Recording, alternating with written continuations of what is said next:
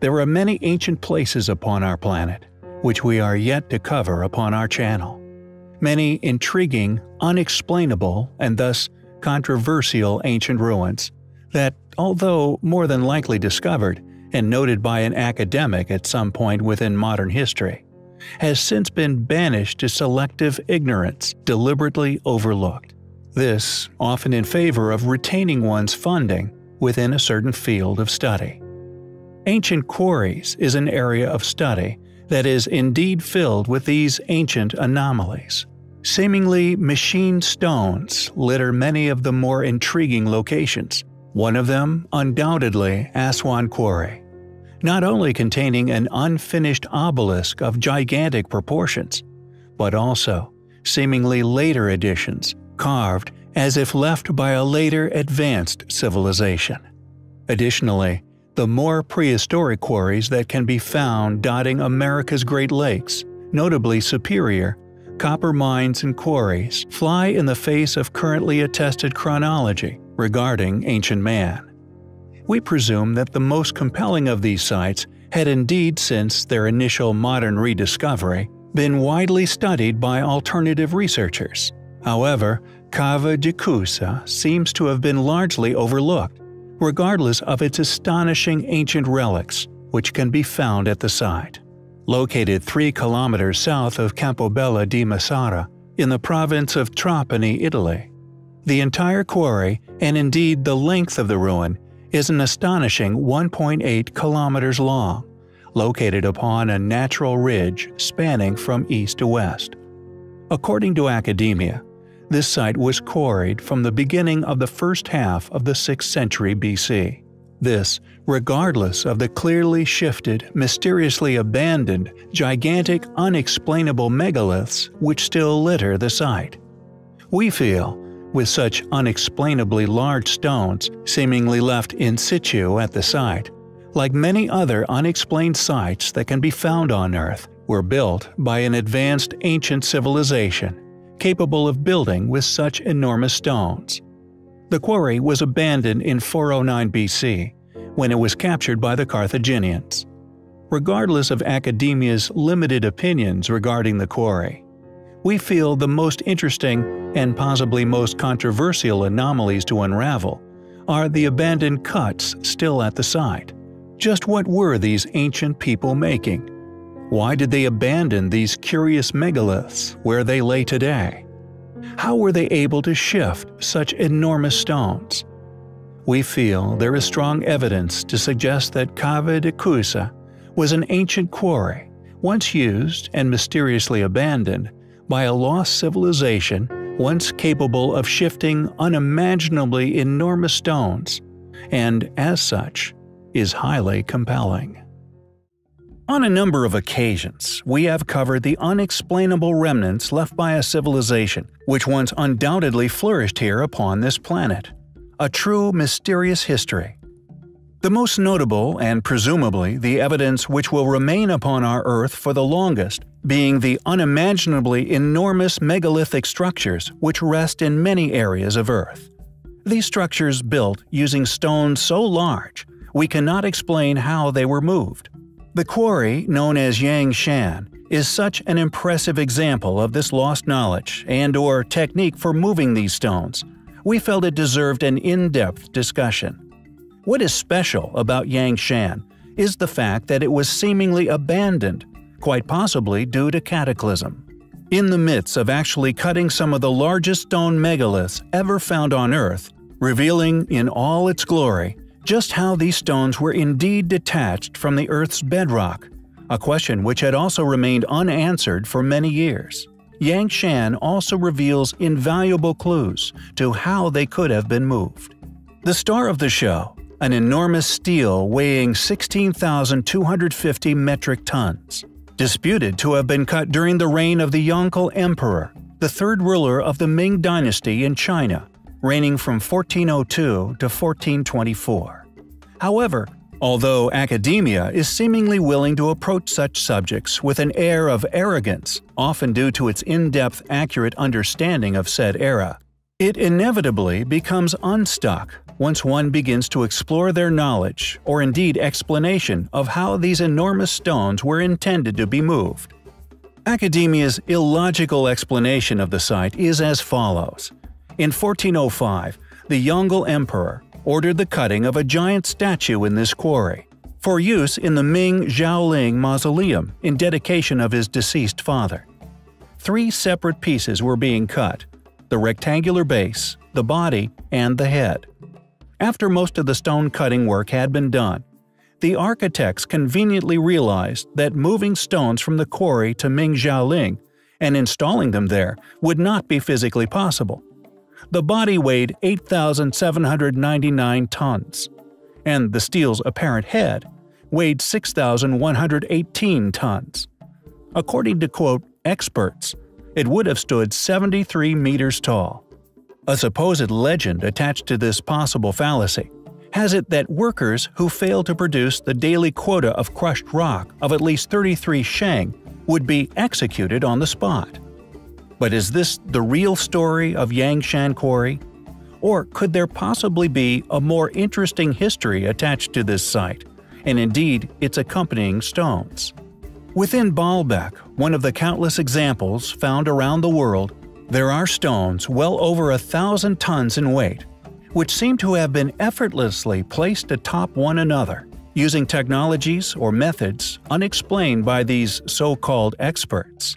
Is it really that unthinkable to believe that they could indeed once shift these enormous stones found in Yangshan? Not only move them, but lift them on top of one another? Fortunately, more and more people are beginning to look at this exact possibility and with the mounting evidence in support of far greater antiquity surfacing every day, it is only a matter of time before these sites are truly revealed for what they actually once were. To truly understand the astonishingly true history of the unfinished obelisk, one must first wade through a quagmire of well-financed fallacy, infested with many a false prophet, incomplete or simply illogical conjecture, all of which, defended by countless academic figures of institutions of influence and power, acquired via the funding in their defense of a form of mass worship of academics' perception, as if an all-knowing authority. So, with things like the obelisk, for example, one begins to wonder if this all be by design. Since academic records of this monument began, no one who has described it, predictably, has ever managed to wrap their head around how such a stone could have possibly ever been moved. Ergo, all well-funded explorers, reporters, and journalists alike, with the expectant pressure of their return with a deciphered mystery. It would appear this explanation never arose, yet was skillfully averted.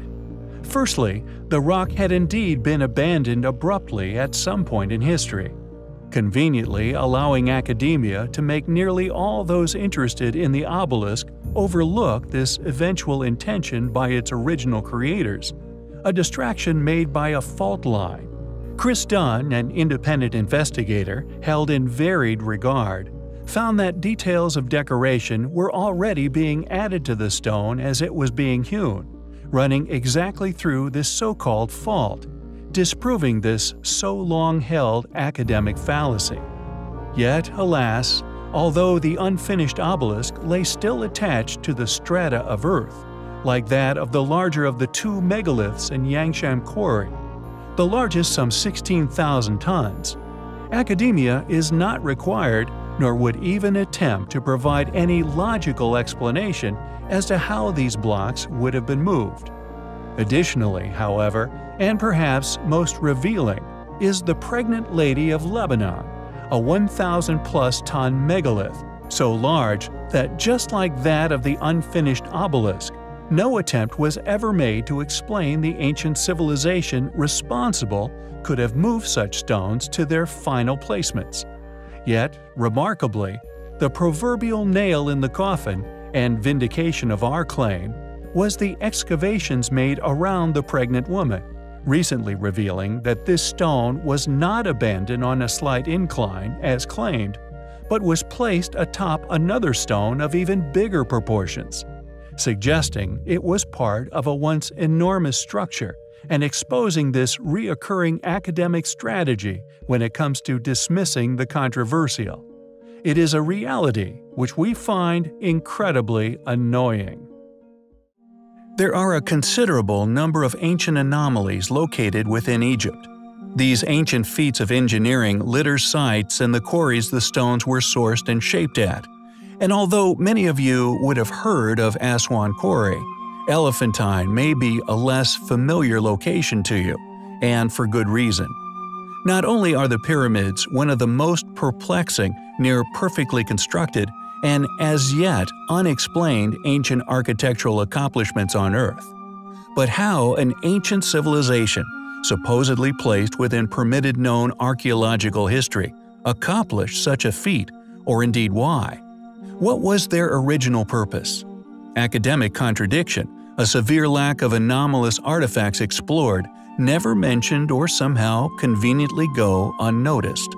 However, in the real world, beyond the boundaries of the fenced or so-called schools of education, thanks to our own work and the presentation of such a volume of inexplicable events artifacts, ruins or megaliths, along with many others allied within similar fields, independently funded researchers, investigative agents, and many more sometimes even noticed first by a viewer credited with its rediscovery within our coverage.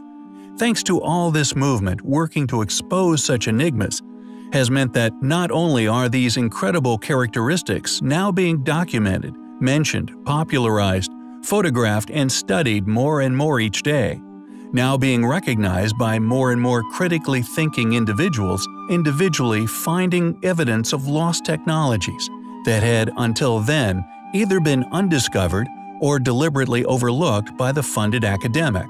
The vast catalog of unexplained architecture, again growing by the day, but also the often accompanying curious stone cuts, scars, and striations, all clearly left by high-speed disc-cutting machine a signature tool mark, identical to that which is left by modern-day power tools, along with the still absent demonstration of the methods used to construct the pyramids, leads anyone to this ongoing and seemingly most controversial of arguments regarding the origins of the ruins found across Egypt.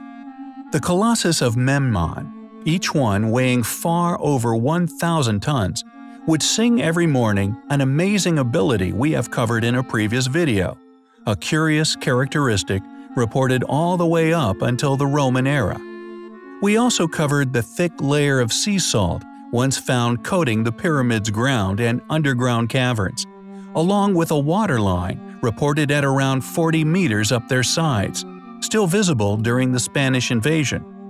This clearly suggests that the pyramids and their accompanying sphinx are in reality so old they even had once been submerged in ocean waters. An ancient ocean which over the eons has shifted, leaving behind sediment in the form of the desert sands. There are many enormous ancient megalithic stones hidden in and around the three Great Pyramids of Egypt.